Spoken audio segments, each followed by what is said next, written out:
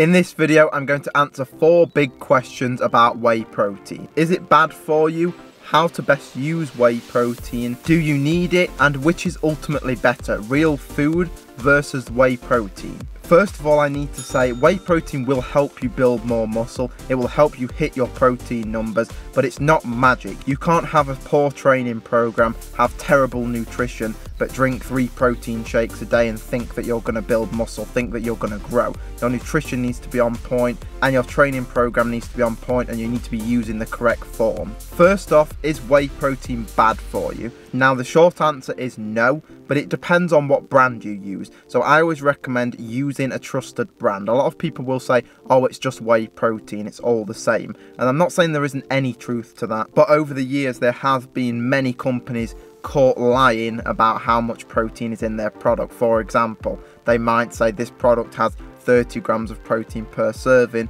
but when it's been tested in the lab, it actually only has 14 grams per serving. So you have to be careful about which brand you use, and I'm going to list on the screen right now some of the trusted brands that I would recommend you use. I don't have any links, I don't have any discount codes, and I don't make any profit from you buying these products. These are just simply the products that I use. Another question that comes up a lot about whey protein being bad for you is that too much protein is bad for the kidneys. That's a myth, that's simply not true. There is not one study in the world that shows that eating more protein or higher protein diet is going to be bad for your kidneys. The body is very smart, the body's an amazing thing. If you eat too much protein, more protein than your body really wants, which I actually recommend you do eat slightly more so that your body gets everything it needs, your body will simply take the amount of protein it wants, utilize that, utilize those amino acids, and then it will dispose through the kidneys of the protein that it doesn't want. It will just simply get rid of the extra. There's also been some talk about can whey protein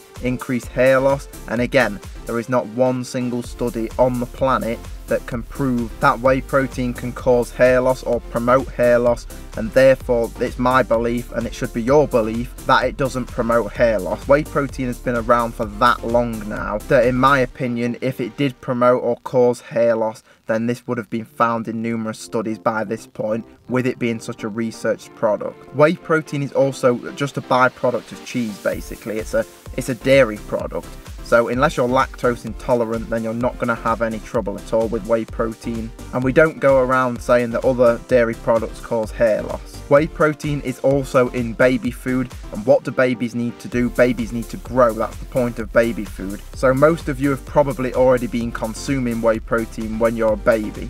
On to the next question, do you need whey protein powder? Now, the answer is no, you don't need whey protein. But just because you don't need something doesn't mean you shouldn't take advantage of it. So if your daily protein target is 150 grams per day and you can get all of that from eggs and chicken and grass-fed beef or even plant-based foods, if that's what you want to do, that's absolutely fine.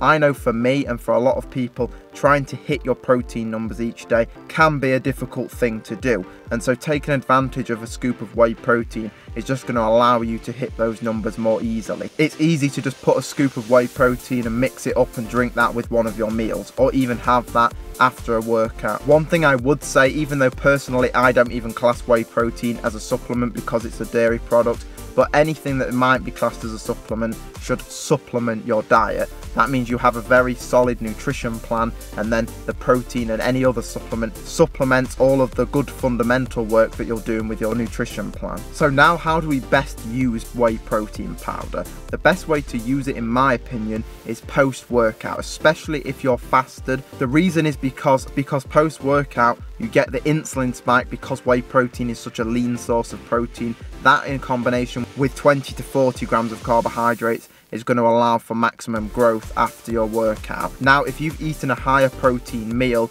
before your workout, at any point before that workout, then the research actually suggests that that post-workout shake isn't really important at all for muscle growth and so you don't have to have that shake right after your workout. What I recommend doing is either training fasted or if you're not training fasted and you've had that high protein meal a few hours before, use your whey protein shake alongside the meal of the day that you struggle to hit the most protein in. So if you have a certain meal that you only seem to get 30 grams and all the other meals you get 50 grams, then use your whey protein shake alongside that meal. The question is, what is better, whey protein versus real food. So if you had the choice between a grass-fed, grass-finished steak or a scoop of whey protein, which is going to be better?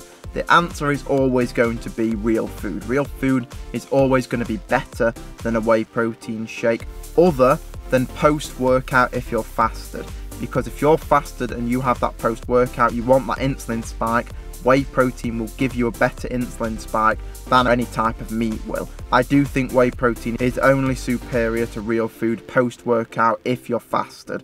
Any other time in the day, a grass fed steak, grass finished steak, or even egg are going to be always be better than a whey protein shake. Now, there'll be a lot of people on the internet who are trying to tell you the opposite to that, and those people are obviously just trying to sell you a certain product or trying to get you to click their link so that they can get a 20% commission off of selling you a whey protein product. But real food is always going to be better than a whey protein shake. People want to believe that the whey protein is better, obviously because it's simpler. It's really easy to use and it's a supplement. People have been marketed their whole life that supplements are the way to go and supplements are going to help you build that much more muscle and it's really not true. Supplements are helpful but they're only really going to give you that little boost, that little bit extra. And one more thing that I need to say is weight gainer shakes, which do contain whey protein, are a no-go. There is no weight gainer shake that you should be drinking. They're just full of sugar, maltodextrin, dextrose. They really are horrible products. If you really need a weight gainer shake,